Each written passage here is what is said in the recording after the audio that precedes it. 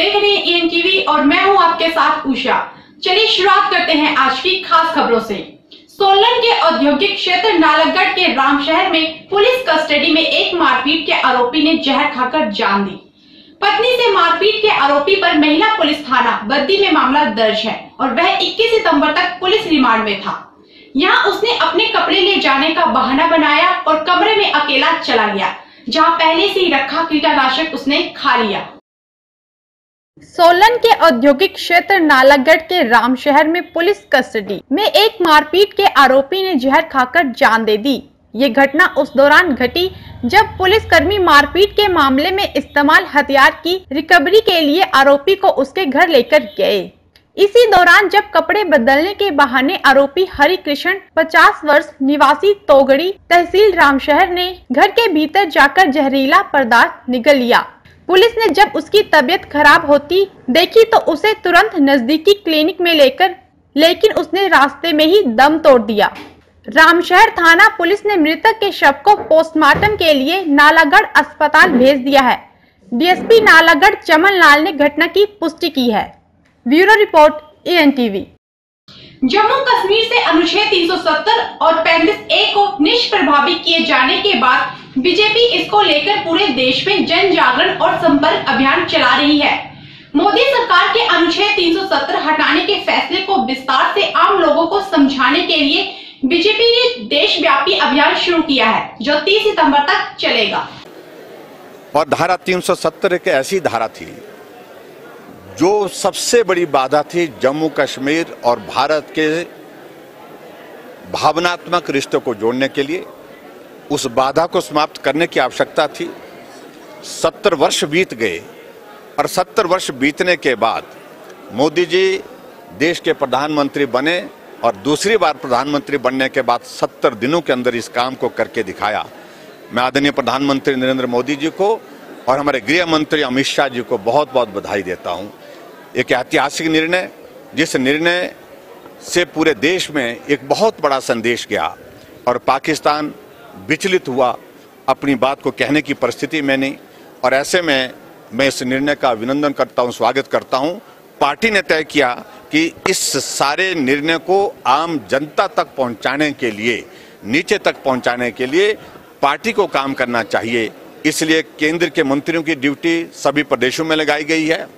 और प्रदेश के सब नेता जाकर के मंडल स्तर पर जाकर के इस कार्यक्रम को करने के लिए निकलेंगे इस अभियान के अंतर्गत ताकि एक बहुत बड़ा संदेश कश्मीर से कन्याकुमारी तक भारत एक हुआ है सही मायने में एक हुआ है एक तिरंगे झंडे के नीचे एक हुआ है। सर हम बहुत बड़ी उम्मीद के साथ हैं और मुझे इस बात की का यकीन है विश्वास है कि धारा 300 समाप्त होने के धारा 370 समाप्त होने के पश्चात कश्मीर बहुत तेज गति से विकास की राह पर आगे बढ़ेगा। लद्दाख रीजन जिनकी वर्षों से मांग थी कि हमारा वहाँ पर यूनियन टेरिटरी होनी चाहिए तो यूनियन टेरिटरी के कारण लद्दाख अपने उस रीजन में जो है, जो अपनी डेवलपमेंट को आगे बढ़ाएगा। और जम्मू कश्मीर को फ़िलहाल यूनियन टेरिटरी लेकिन साथ में ये भी बात कही गई, हमारे केंद्रीय नेतृत्व द्वारा अमित शाह जी ने लोकसभा के अंदर कहा कि जैसे जैसे वहाँ पर हालात सामान्य होंगे, हमारे मन में जम्मू कश्मीर को रियासत पूरा पूरा राज्य का दर्जा देने का भी भाव है और जैसे वहाँ पर नॉर्मल सिचुएशन होगी, उसके अनुरूप जो है जम्मू कश्मीर को राज्य भी बनाया जाएगा। तो मुझे लगता है कि बहुत बढ़िया निर्णय जो है वो हमारे केंद्र के नेतृत्व ने किया है और ऐसी यही एक मात्र था रास्ता जिसके माध्यम से भारत को एक होने का संदेश और उसके साथ जम्मू कश्मीर भारत का हिस्सा है, अभिन्न हिस्सा है, ये कहने की आवश्यकता नहीं, जम्मू कश्मीर भारत का है, इतनी बात है। पीड़ित माँ बिलक बिलक कर रो रो कर सुना रही है अपनी व्यथा और न्याय की गुहार लगा रही है। जी हाँ ये वाक्य जिला बिलासपुर के गाँव कोठी टोपका का है, जहाँ एक माँ अपने बेटे की मौत की जाँच की मांग कर रही है। मृतक की माँ ने आरोप लगाया है कि उनके पुत्र की मौत को पुलिस की मिली भक्त से सार के काटने का रूप दे दिया गया है, जबकि उसकी हत्या की गई है। नहीं रह सकते जो हर माँ बाप बनाए नहीं जो धमकियाँ दे।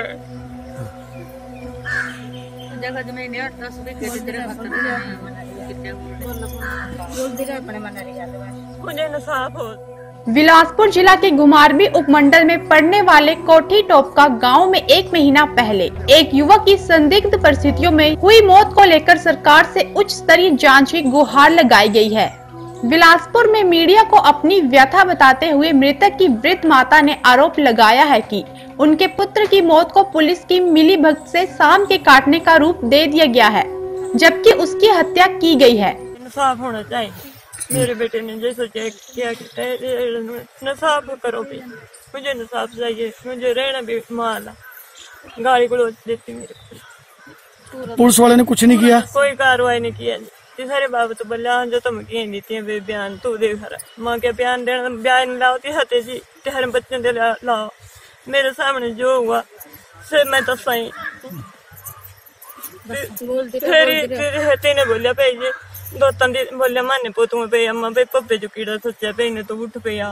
तंजे आई देखे मैं तो से पुइया हाजी पे फेरी आऊँगा लाओ मेरा कमलू कमलू तीजो क्या हुआ बच्चा क्या हुआ से निकला ते से गला करड़ करड़ लग रही ने इंगा लाते ने हथारा सारा मिंजो समझ कोई नहीं आई से पहले भी लड़ते घुलते रहे हैं तेना लड़ाई रहे हैं आपस में अपने काल मुँह कर ले हैं जे ओरे पर हो जाए पे ये दोनों जने शांतियाँ दे रहंदे तो से बहु भी मिंजो गाल गलोच कराही तेना शुरू ते लड़ाई रही हुंदी जी ही कुटाई और क्या चाहते थे पुलिस पुलिस कार्रवाई करे हाँ जी पुलिस कार्रवाई का किते जाओ महिला ने बताया कि सारा षड्यंत्र उसकी बहू के द्वारा रचा गया है और पुलिस ने तथ्यों के विपरीत उसी से मिलकर उसे निर्दोष बताया है।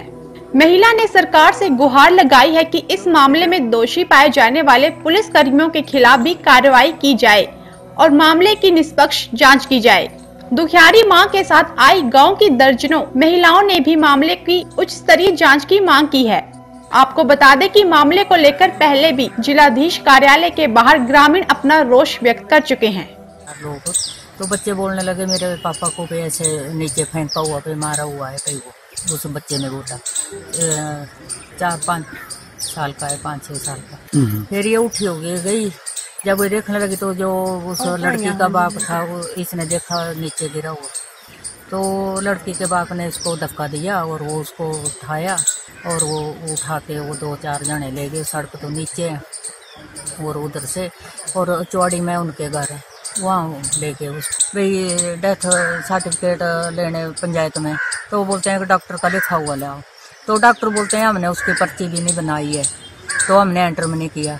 तो सर, वो जो एंटर भी नहीं किया, उसका तो उसका पोस्टमार्टम कहाँ किया? कहाँ उसका वो उसमें सभी के सामने उसमें सील लगाते हैं जब जाता है ऐसे थोड़ा वो निकाला उसका सब कुछ और वो भेज दिया। तो वो सब कुछ नहीं होता है तो मेडिकल के थ्रू जाएगा और मेडिकल के ही लेबोरेटरियों में टेस्ट होगा।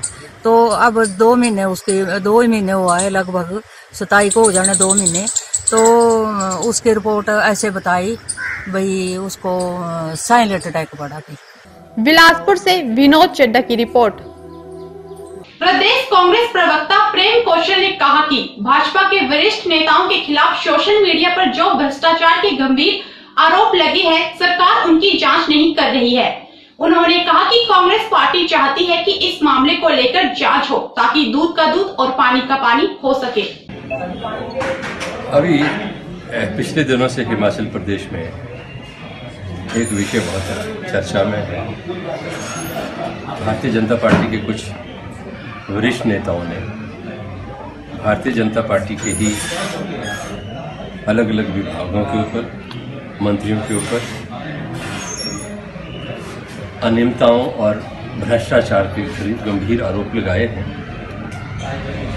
और मज़ेदार बात यह है कि जिन लोगों ने आरोप लगाए, सरकार की एजेंसियाँ, उन्हीं लोगों की जाँच कर रही हैं। जो आरोपित हैं, जो आरोप हैं, उनकी जाँच करने की बजाय, जिन्होंने आरोप लगाए हैं, सरकार की एजेंसियाँ उन्हीं को घेरने में हमारे प्रदेश कांग्रेस कमेटी के अध्यक्ष ने पिछले कल भी मांग की है कि जो आरोप लगे हैं, वो चाहे स्वास्थ्य विभाग के ऊपर है, चाहे उद्योग विभाग के ऊपर है, उन तमाम आरोपों की जाँच हाई कोर्ट के जज से करवाई जाए, ताकि दूध का दूध और पानी का पानी हो सके, सच्चाई जो है और आने वाले समय में धर्मशाला में एक इन्वेस्टर मीट होने जा रही है। कांग्रेस पार्टी हिमाचल प्रदेश के अंदर नए उद्योग आए इन्वेस्टमेंट हो, लोगों को रोज़गार मिले, उसका स्वागत करती है। और हिमाचल प्रदेश के अंदर आज जितना भी इंडस्ट्रियलाइजेशन हुआ है पावर प्रोजेक्ट्स हैं, ये सारे के सारे जो हैं, कांग्रेस पार्टी की नीतियों, कार्यक्रमों और कांग्रेस पार्टी की बदौलत है। आज लाखों युवाओं को जो प्राइवेट सेक्टर में, हिमाचल में रोज़गार मिला है, उसके पीछे कांग्रेस पार्टी की सोच रही है, कांग्रेस पार्टी का काम है। भारतीय जनता पार्टी इस दिशा में काम करे, हम स्वागत करते हैं। लेकिन आज का जो दौर है, जिसमें आज पूरा हिंदुस्तान जो है, वो आर्थिक मंदी के दौर से गुजरा है। हर तरफ़ एक, जो हमारी देश की जो आर्थिक स्थिति है, बड़ी विकट और विकराल रूप धारण करती जा रही है। और ऐसे हालात में जहाँ अलग अलग हमारे जो उद्योग हैं, चाहे वो मेजर इंडस्ट्रीज़ हैं मीडियम इंडस्ट्रीज़ हैं स्मॉल स्केल इंडस्ट्रीज़ हैं, जहाँ ये बंद हो रही हैं। ऑटोमोबाइल्स का बहुत बुरा हाल है सेक्टर का। और लाखों लोग, करोड़ों लोग जो हैं उनकी जो प्राइवेट सेक्टर में रोज़गार था, वो छिन रहा है। ऐसे दौर में जब उद्योग बंद हो रहे हैं इंडस्ट्रीज़ बंद हो रही हैं, कारोबार खत्म हो रहे हैं, ऐसे दौर में कौन इन्वेस्ट करने यहाँ आएगा, ये हमारी समझ से परे रुकेंगे एक ब्रेक के लिए, जल्द हाजिर होंगे।